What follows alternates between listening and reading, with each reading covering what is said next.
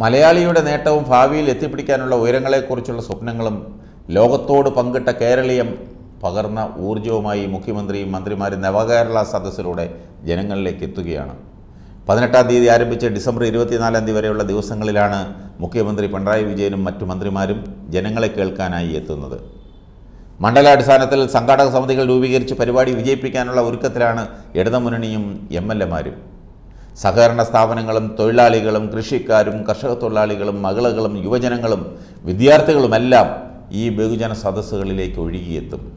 സംസ്ഥാനത്തിന്റെ വികസന കുതിപ്പിനുള്ള നിർദ്ദേശങ്ങൾ സ്വീകരിക്കുന്ന സദസ്സുകൾക്കൊപ്പം കലാ സാംസ്കാരിക പരിപാടികളും അരങ്ങേറും. സമൂഹത്തിന്റെ വിവിധ മേഖലകളിൽ നിന്നുള്ളവർ നവകേരള സദസ്സിന്റെ ഭാഗമാകും. പതിനെട്ടാം തീയതി കാസർഗോഡ് മഞ്ചേശ്വരത്ത് നിന്നാണ് പരിപാടിക്ക് തുടക്കം കുറിക്കുന്നത്. പൊതുജനങ്ങളിൽ നിന്ന് സ്വീകരിക്കുന്ന പരാതികളിൽ ഒരു മാസത്തിനുള്ളിൽ പരിഹാരമുണ്ടാക്കണമെന്നും സർക്കാർ ഉത്തരവിറക്കിയിട്ടുണ്ട്.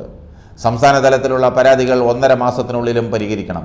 ഓരോ വേദിയിലും പരാതി സ്വീകരിക്കാൻ പ്രത്യേക കൗണ്ടറുകൾ ഉണ്ടാകും പരിപാടി ആരംഭിക്കുന്നതിന് മൂന്ന് മണിക്കൂർ മുൻപ് പരാതി സ്വീകരിക്കുന്ന കൗണ്ടർ പ്രവർത്തനം തുടങ്ങും. അവസാന പരാതിയും സ്വീകരിച്ച ശേഷമേ ആ കൗണ്ടർ അടയ്ക്കൂ. സ്ത്രീകൾ മുതിർന്ന പൗരന്മാർ ഭിന്നശേഷിയുള്ളവർ തുടങ്ങിയവർക്കായി പ്രത്യേക കൗണ്ടറുകളും ഉണ്ടാകും ഓരോ പരാതിക്കും കൈപ്പറ്റ രസീത് നൽകും. ഡാറ്റ എൻട്രി പൂർത്തിയാക്കുന്ന ദിവസം തന്നെ തുടർ നടപടിക്കായി പോർട്ടലിലൂടെ കൈമാറണം. പരാതികളിൽ രണ്ടാഴ്ചയ്ക്കകം തീരുമാനമെടുക്കണം. പരാതിക്കാർക്ക് വിശദമായ മറുപടി നൽകി പോർട്ടലിൽ അപ്ലോഡ് ചെയ്യണം. കൂടുതൽ നടപടിക്രമങ്ങൾ ആവശ്യമുള്ള പരാതികളിൽ നാലാഴ്ച വരെ സമയമെടുക്കാം. സംസ്ഥാന തലത്തിൽ പരിഹരിക്കേണ്ട പ്രശ്നങ്ങൾക്ക് കൂടുതൽ സമയമെടുക്കുന്ന സാഹചര്യത്തിൽ പരാതിക്കാരന് വിശദമായ ഇടക്കാല റിപ്പോർട്ട് നൽകണം. ജില്ലാതലത്തിൽ തീരുമാനമെടുക്കുന്ന പരാതികൾ സമയബന്ധിതമായി തീർപ്പാക്കാനുള്ള ഉത്തരവാദിത്വം ജില്ലാതല വകുപ്പ് മേധാവിക്കായിരിക്കുമെന്നും ഉത്തരവിൽ പറയുന്നു. കേരളീയം പരിഷ്കരണത്തിലെ ഒറ്റപ്പെട്ട പ്രതിപക്ഷം നവകേരള സദസ്സിലും പങ്കെടുക്കില്ലെന്ന് മുൻകൂട്ടി പ്രഖ്യാപിച്ചിട്ടുണ്ട്. അത് കണക്കിലെടുത്താണ് എൽ ഡി എഫിന്റെയും എം എൽ എമാരുടെയും പ്രവർത്തനം. L D F M L എമാർ അവരവരുടെ മണ്ഡലങ്ങളിൽ പരിപാടിക്ക് നേതൃത്വം നൽകും.